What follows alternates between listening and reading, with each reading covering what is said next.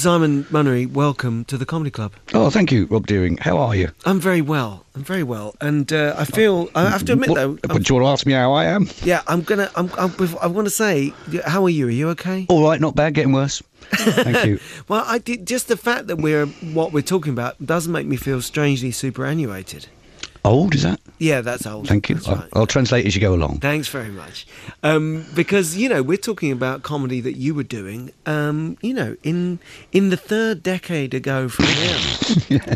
So, because we've got some lovely stuff that you did for Radio One in the nineties. Tell me about the uh, about Alan Parker, Urban Warrior, and doing him on the radio. Yeah, um, Alan Parker um, was a character, uh, angry young man, sort of uh, um, revolutionary. Uh, would have been a would be punk rock singer, but without the band, or the band had all left. But it started. Uh, it was one particular train journey. I used to be in a double act called God and Jesus, and we were on a particular one train journey. And Alan Parker, and Warrior, and the League Against Tedium character did later. Both came out that same train journey, but Alan Parker came came out first. But it was just the, the original idea of Alan Parker was just a, a bloke standing with his legs wide apart, as in the Clash first album, um, really like overly wide apart in front of some rubble in the scene of urban decay, and going, yeah, as if that was all that needed to be said. Yeah. Uh, and that was the sort of origin of the tone of voice, and from then on, it's it wrote itself. Well, I wrote it. Um,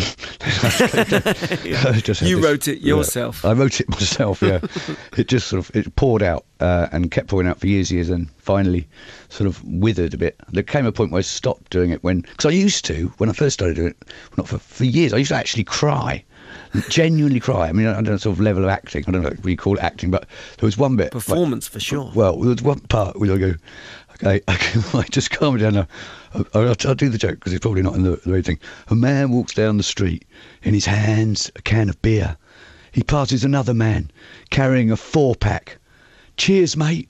They salute each other, though they have never met. Okay, it's a utopian dream, maybe, but I still cling to it. And I used to cry at that point. And it's like just utterly moved by his own vision. But uh, as but after doing years, I just could not do it at the same sort of level. So I was still pretty good at it, but it got, you know, things turn stale. Like, like, like uh, you, you can't do them so well anymore. So, and how did how did Alan Parker? Because I'm just thinking about this because we're going to play um, 29 minutes of Alan Parker. Yeah. I want to know how that got from that train journey and that image of the rubble to to Radio One.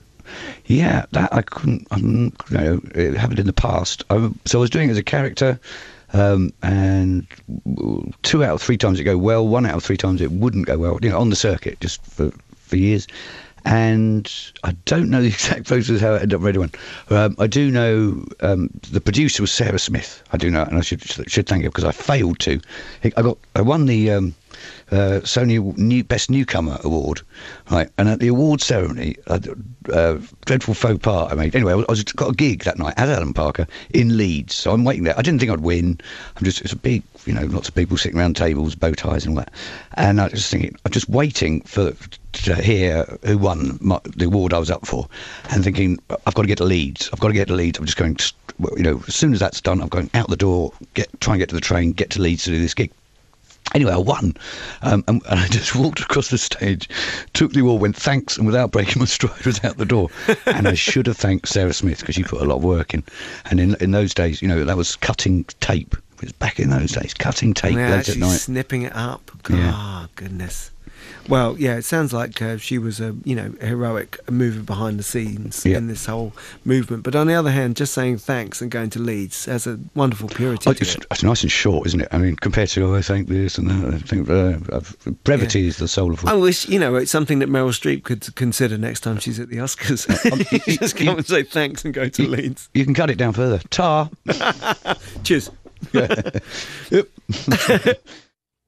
And there'll be more from Mr. Munnery later in the week. Tomorrow night, I'll be chatting to one half of Lee and Herring and latterly king of the podcast, Richard Herring. So be sure to tune in tomorrow if you're hard of herring.